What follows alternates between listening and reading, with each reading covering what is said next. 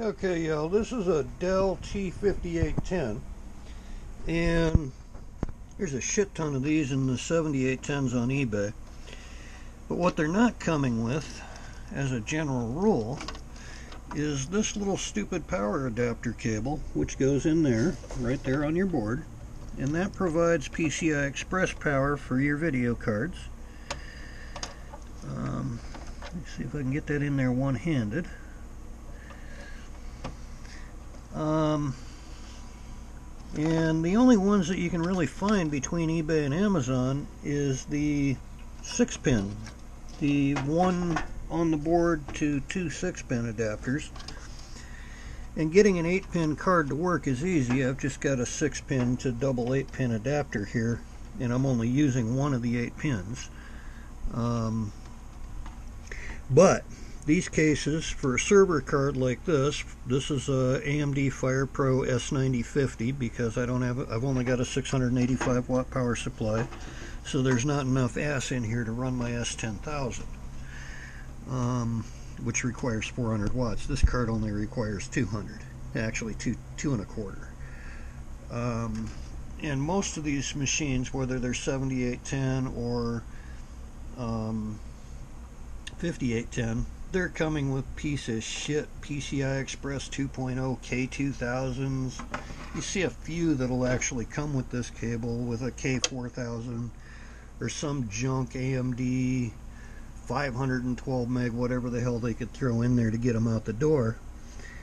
Um, and other than there's not enough airflow through the case, these are really nice machines, whether it's the 5810 single processor or the 7810 dual processor. They are really nice machines for Dell, and I don't normally compliment Dell. I love my HPs and IBMs, but uh, Dell is typically junk. The least shit they can possibly give you for the most amount of money. But this one, these are pretty nice machines course, then again, they're enterprise workstations, so they kind of have to be. Uh, memory cooler's pretty nice, ducted well. Um, CPU wise, they'll take a. Um, I've had E5 2699s in them. Most of these are coming off of eBay with quad cores and hex cores, little junk socket 2011 V3 CPUs. Um, and the later revisions will take a V4 chip. Um, I don't recommend it though. I recommend st sticking with V3. I'm not sure which chip I left in this, if it was the E5 2699 or the 2690, but I think I left the 12 core in it. I think I took the 18 core out and I think that's sitting in the box over there ready to go. I basically I've been using this machine to test chips and play with operating systems, see how, how compatible the Dell really is. And so far, this one's like CentOS, it's like SUSE. Obviously, it's a Dell, so it's going to love all that Windows crap.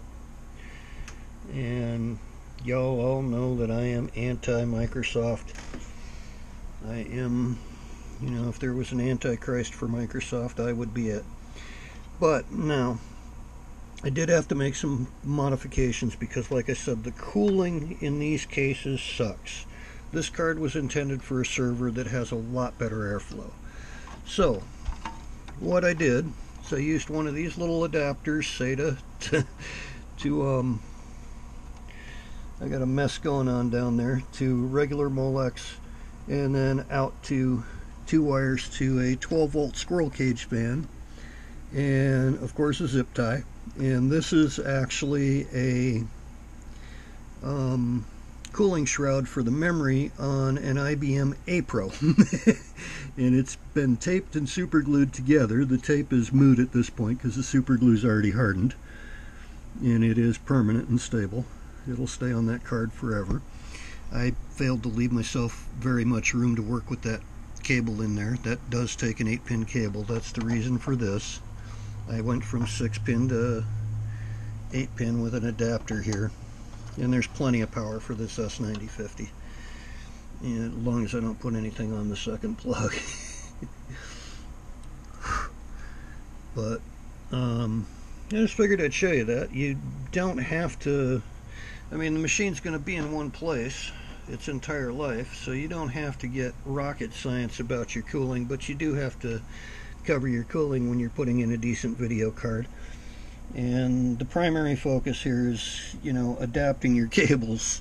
And they make all these. I mean, the guy out of Indiana is selling the board 2 6 pin PCIe power cables.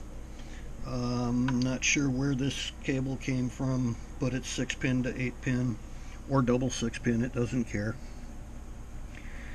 Um, and this is a common SATA to Molex because these don't have Molex connectors and that squirrel cage fan that was the only thing it would hook up to. but They're really nice little machines for Dells. And anyway, there's how you do it. I hope that helped somebody. If it didn't help anybody, oh well. If it did, great. That was the intention. Oh yeah, and drives wise, I didn't bother mounting my drives. That's just a little piece of shit SATA down there. I've been testing CentOS and SUSE and a couple other operating systems. The big drive down there, I'm just using for porn storage. Now watch some liberal will think I really have a drive filled with porn. Fuck no. I set pragma equals no cache and I watch my porn on the internet like a real like anyone else. Um, yeah. Let's see. Yeah, that's about it. Not really a whole lot to tell about these machines. Uh, E5 2699 seems to be the most they'll take. Um, there are E7 Haswell CPUs. I haven't tried any. I'm not going to. Um, so we'll holler at y'all later.